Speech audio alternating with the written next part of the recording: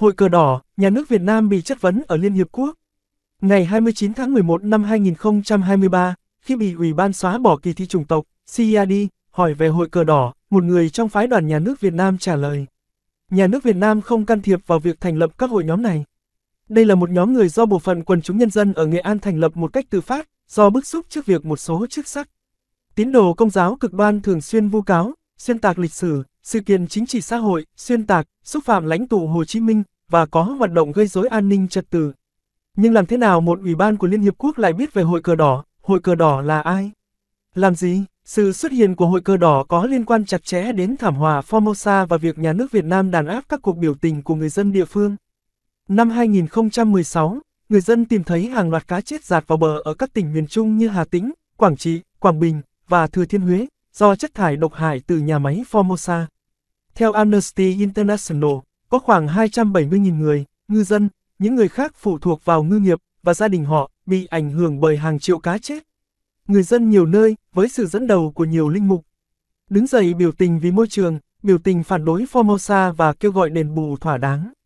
Bị công an địa phương hà hiếp, đàn áp nặng nề, họ vẫn tiếp tục biểu tình kêu gọi công lý và minh bạch. Năm 2017, giáo sứ Song Ngọc và các giáo dân bị tấn công bởi một nhóm hơn 100 người mặc áo đỏ và cầm cờ đỏ, tự gọi là hội cờ đỏ. Hội cờ đỏ chửi bới, đánh đập giáo dân, đập phá đồ đạc và nơi thờ phượng, đe dọa, tấn công các linh mục. Nạn nhân báo với chính quyền địa phương nhưng không được gì. Sau giáo sứ Song Ngọc, hội cờ đỏ nhắm vào giáo sứ Đông Kiều, giáo sứ Kẻ Gai, giáo sứ Đăng Cao và tràn sang tỉnh khác, không chỉ gói gọn trong Nghệ An. Theo BBC News tiếng Việt đưa tin, Ủy ban Nhân dân xã Sơn Hải nói đây là một tổ chức tự phát. Nhưng các linh mục cho rằng Hội Cờ Đỏ là một tổ chức do chính quyền địa phương lập ra và hậu thuẫn. Linh mục Đặng Hiếu Nam nói nếu hội này không phải do chính quyền thành lập thì tại sao chính quyền lại phải đi thông báo với chúng tôi?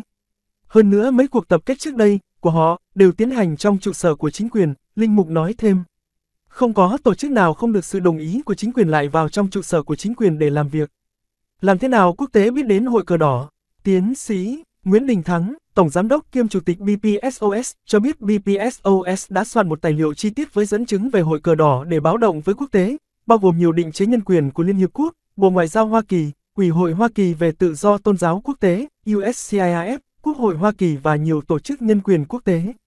Tài liệu kể ra một loạt những vụ sách nhiễu của hội cờ đỏ với các linh mục và giáo dân biểu tình về thảm họa Formosa, và nói chính quyền địa phương bắt bớ, giam giữ, bắt tù người biểu tình nhưng để hội cờ đỏ muốn làm gì thì làm, và chẳng làm gì khi nạn nhân báo họ bị hội cờ đỏ đánh đập, tấn công.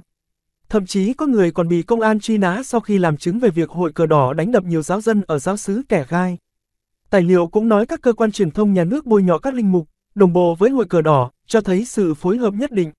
Dùng tài liệu này, BPSOS đã đóng góp thông tin cho các cuộc giả soát của Liên Hiệp Quốc về việc thực thi các công ước nhân quyền mà nhà nước Việt Nam đã ký kết.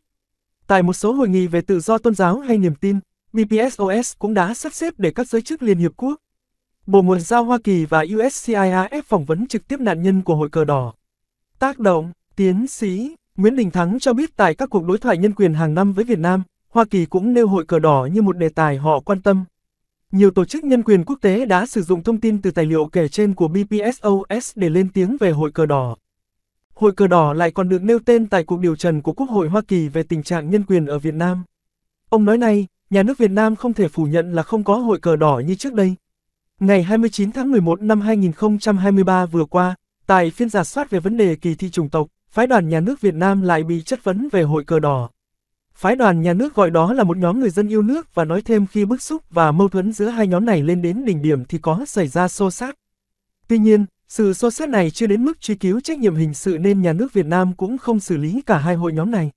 Về phía Việt Nam, chúng tôi đã tích cực xử lý vụ việc bằng cách là cơ quan chức năng Việt Nam đã gặp các thành viên của tổ chức hội cờ đỏ cũng như những người có chức sắc, tín đồ tôn giáo để tuyên truyền, phổ biến về chính sách, pháp luật của nhà nước và yêu cầu chấp hành pháp luật. Không có hành vi vi phạm pháp luật. Họ cũng nói nhà nước cũng chỉ đạo các chính quyền tăng cường công tác quản lý và cảnh báo các tổ chức, hội nhóm vi phạm pháp luật không được gây ra sự phân biệt đối xử hoặc mất đoàn kết giữa các tôn giáo, giữa người công giáo và người không theo đạo công giáo, với nguyên tắc là những tổ chức nào hoạt động tuân thủ pháp luật sẽ được khuyến khích, và vi phạm pháp luật phải bị xử lý nghiêm theo pháp luật. Tiến sĩ Nguyễn Đình Thắng nói câu trả lời lấp liếm như vậy chắc chắn không qua mắt được các chuyên gia nhân quyền giàu kinh nghiệm của Ủy ban CERD. Trong bản nhận xét kết luận sau cuộc ra soát, Ủy ban CIAD bày tỏ mối quan tâm sâu đậm về các tội ác vì thù ghét của hội cờ đỏ và về câu trả lời mơ hồ của phái đoàn đại diện nhà nước Việt Nam. Ủy ban còn chỉ ra rằng khi nhà nước Việt Nam mô tả hội cờ đỏ là tập hợp của những người yêu nước thì rõ ràng là có ý bao che tội phạm. Ủy ban này khuyến nghị nhà nước Việt Nam điều tra, khởi tố và trừng phạt các thành viên hội cờ đỏ nào bị phán quyết là có tội. Vì sự lên tiếng và lên án của quốc tế, các hội cờ đỏ lui dần vào bóng tối, bây giờ hầu như biệt tích. Dù vậy, ông nói BPSOS sẽ tiếp tục nêu tên hội cờ đỏ tại các diễn đàn quốc tế và thách đố nhà nước Việt Nam điều tra và khởi tố hình sự các thành viên đầu não của hội cờ đỏ vì vi phạm luật Việt Nam và luật quốc tế.